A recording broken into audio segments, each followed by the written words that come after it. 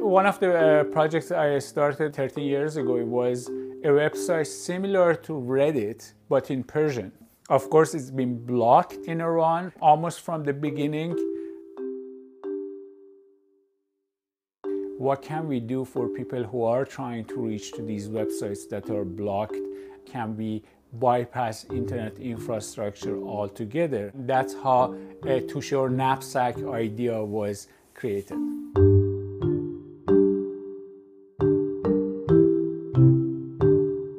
So we are working on uh, our satellite content delivery technology. This is an innovative technology that helps people who have limited internet access or they live in countries with internet censorship receive content and totally bypass internet infrastructure and use their satellite TV receivers to receive content. What we did was we figured out a way to embed files within an MPEG stream so the, the images that are sent to the TV actually contain files. Basically, they are just sitting at home, they're watching satellite TV and they're flipping through channels and they wonder what kind of channel is this because this is just showing slides and there's no video, there is no nothing. This is broadcasting data. On the left side, you see the size of the package that being sent that day. So for example, here, the size of the package is 0.3 gigabyte. And on the top of that, you could see duration, so that shows how long it takes to download that package. Of course, this is not the entire internet. It's, it's just a part of it that we package on a daily basis and we broadcast it over satellite. We take our uh, flash drive and plug it into the laptop or Android phone to get the content extracted. There's, there are news items, there are uh, funny videos, there is a fact-checking website in Persian. It contains music, it contains PDF files, it contains software that was never sent, it, it includes TED Talks. They can browse this as if they were online. There, welcome back. Damn! You made it this far. That's incredible. Seriously, most people never. We have a WhatsApp, we have Telegram channel, we have email. So they constantly email us and asking us for new type of content. We get messages, for example, one message we had from a rural place. The person said like, I walked uh, uh, 15 uh, kilometers to get to this like a small town because that's where he had uh, internet access from a cafe to send us a message. So that kind of like just the messages motivates us so much. Uh, the driving motivation behind it for Iran was getting Iran censorship. But actually, once we launched the project in Iran, we realized that a lot of people who are using this are not necessarily using it to get around censorship. They are looking for a, having the type of content that they don't normally see on internet, or also just a, they, they were poor, they didn't have enough money to pay for bandwidth. So we were helping them by providing a free access to just download large files, large video files. But as we move to other countries, uh, the focus is mostly actually educational content and the lack of uh, internet access.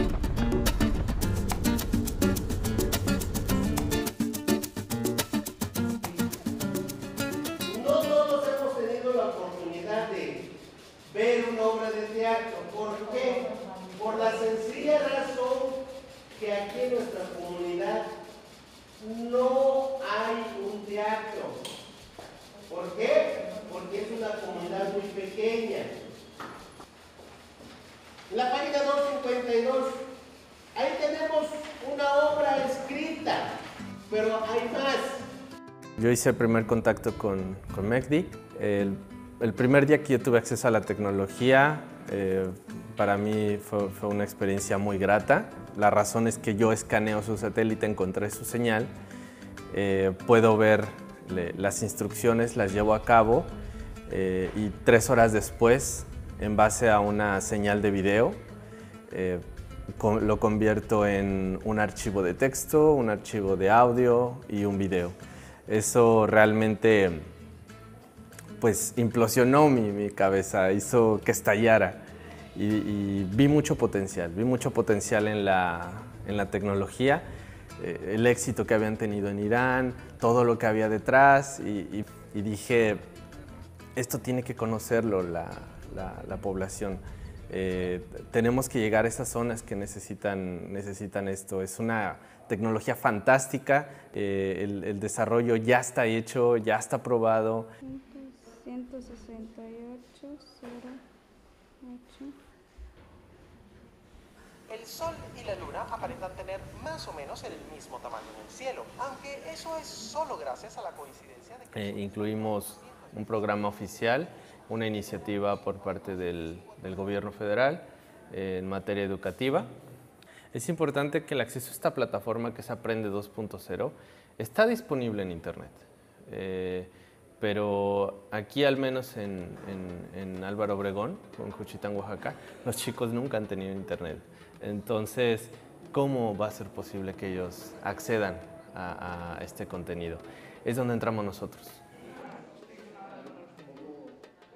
En este laboratorio de cómputo, pues los chicos vienen a, a aprender un poco de informática. Eh, contamos con 12 computadoras aproximadamente. La estación de contenido es este pequeño ordenador, el cual pues, se encarga de almacenar y, compartir el contenido eh, que hemos recopilado para los chicos, todo el contenido académico. Trabaja en conjunto con una antena de banda KU y un pequeño dispositivo Wi-Fi que sirve para que los chicos puedan conectarse desde su smartphone, desde su tablet. Canaspac, Canapsac, ¿no? Naxpac. Naspac. Entonces, pues nos, ya nos dio un aliciente, por lo menos, ¿no? Porque precisamente lo que nosotros queríamos era algo donde los muchachos consultaran, pero consultaran algo que sí valiera la pena, algo documental, algo histórico, algo no, no, meterse a internet nada más por el simple hecho de ir a chatear, ir a, ¿no? sino que más bien que nos sirva para lo, la cuestión educativa. Pues. Y pues esto nos cayó como en, pues, del cielo, ¿no?